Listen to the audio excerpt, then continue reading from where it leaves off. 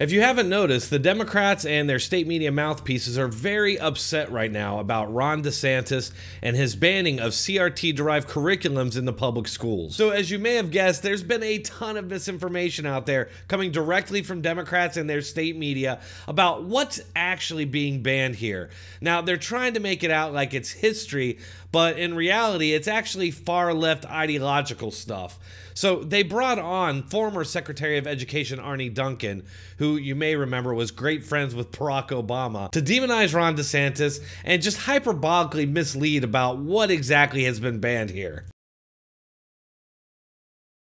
Okay, let's get your reaction first to the College Board releasing its official framework for the AP African American Studies course. This, of course, coming after Florida's Governor Ron DeSantis banned it from classrooms in the state. Okay, so right off the bat, they're misleading because Ron DeSantis didn't just outright ban these AP African American Studies classes.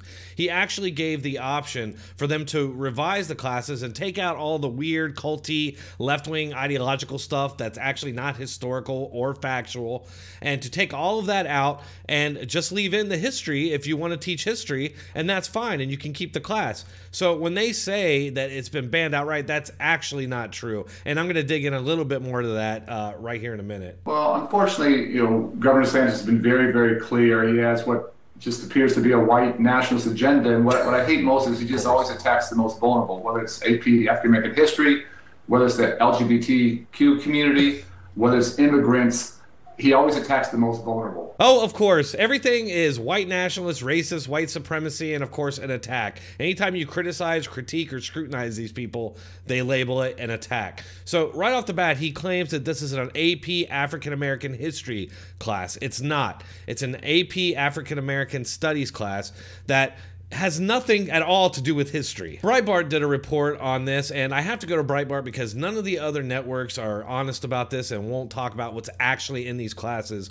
So uh, it's titled AP Course Florida Rejected includes Black Queer Studies and Reparations. Now, the Florida Department of Education is rejecting the AP African American Studies course over content. It contains a section on black queer studies as well as cultural appropriation and reparations and the quote global influence of Black Lives Matter movement, asserting that the course itself is inexplicably contrary to Florida law and significantly lacks educational value.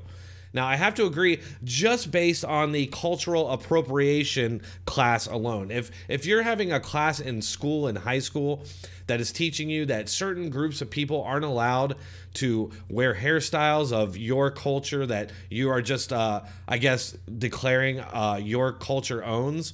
Um, you can't wear their clothes. You can't listen to their music. Cause those things are cultural appropriation. If you're the wrong color, in this case, white, because I'm pretty sure they don't mind other you know cultures taking from theirs. It seems to just be white culture and white people. Um, when I was growing up, America was considered a melting pot, and you heard that a lot in school. All these different cultures come together, we all use them, and it just becomes a part of the greater American culture. Uh, and there's so many examples of that. Uh, CRT derived uh, studies and, and curriculum seems to want to drive a wedge into that and to separate people and to uh, I would say this is a great example of ideological subversion. So you get into the schools, you tell the black students that the white students are out to get them, that their ancestors uh, are the reasons that they're every problem that they have in their lives, it's because of these people's ancestors, and they've benefited from the pain of your ancestors. So they are your enemy. And lastly, DeSantis has told reporters on many occasions now that teachers are required to teach slavery, the post Reconstruction and segregation, and civil rights era. So they're going to get all that stuff in history just like all of us did. None of that is changing, but just listen to the hysterics of this man. And I just, it says a lot more about us than about him. And I just hope voters in Florida and voters across the country um, don't think that's what our country needs is, is more more bullying, more attacking on those that, that need our help and need our support. Well, no bullying and no attacking of anybody but the white students apparently because that's what these classes are. They definitely otherize the white students and white people at large. That's the problem with it. That's what's so insane about this white man defending. He must not know anything about these classes, is my only guess here. Uh, or you know guys like this see it as a virtue if they come out against white people if they show that they're all about attacking white people just not them because they're one of the good ones. And he's virtue signaling that by having the obama picture up there in the background. He's letting everybody know look i love this black president. He's my favorite. I'm not a racist.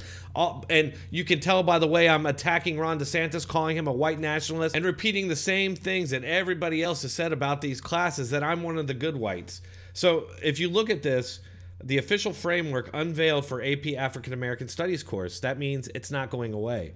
it's it's still there. Florida didn't get rid of it, okay? So they're having this segment on Florida banning a class that's not banned. So it's going to be taught over 28 weeks, covers 79 topics, topics divided into four major units, available during the 2024-2025 school year, only requires analysis of core historical, literary, and artistic works.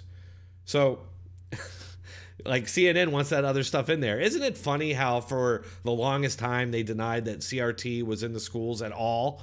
But now it's you can't keep CRT out of the schools. It's funny how that happened. All right, so the CNN host is about to ask him a very very basic question about all of this. And it's the reason why I think he doesn't actually know what's in the African American Studies AP course or what CRT's place is in the schools. I think he's just repeating what other people have said. And you're going to see that right here.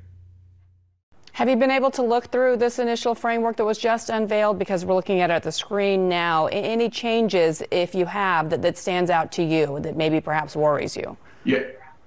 I haven't seen the details. I think it's just so important that young people have access to America's full history, that we don't hide from the from the tough parts and we celebrate the, the good parts. See, he he's going. Nobody's talking about that. Like I just read to you, the schools are still required, no matter what happens. Okay, still required to teach slavery, the post Reconstruction, segregation, and civil rights.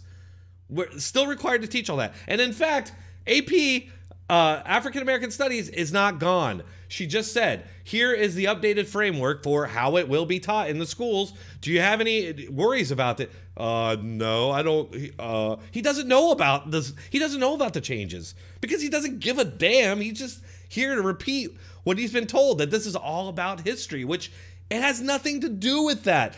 Unless, of course, like I said, we're talking about the revised uh, uh, history by people like Nicole Hannah-Jones and the 1619 Project, which has been roundly criticized, which has been roundly discredited as revisionist history. And I just want to say that is like a main part of critical race theory in general. Uh, when that first started popping up in schools, it was criticized all over the place in academia because one of the main problems with it is that it didn't undergo any criticism or scrutiny.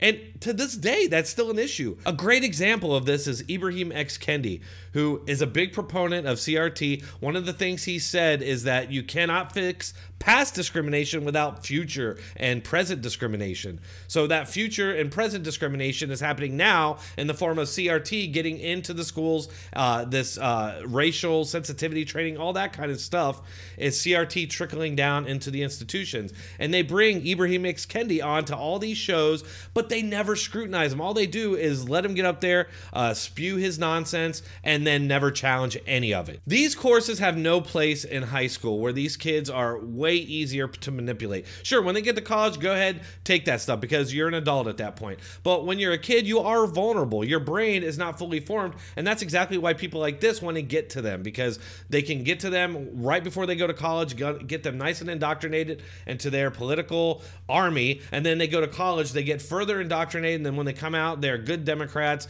They'll go out there and they'll, they'll protest for them. They'll be a part of their movement. And that's what they're looking for. But when we're talking about something like intelligence, intelligent design, for example. In the early 2000s, schools started pushing back against that, and it ended up going all the way to the Supreme Court, where it was eventually banned from being taught in schools. But unfortunately, people have short memories, and they would just consider it different when they do it anyway. Folks, I'll tell you what, if Ron DeSantis does become the prominent leader of the Republican Party, have no doubt that he will get the exact same treatment as Trump. And the media, Democrats, will be just as hyperbolic. They're already calling Ron DeSantis a white nationalist, so Get ready for that.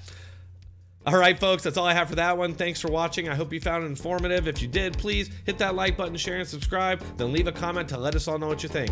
Thanks a lot. I'll see you on the next one.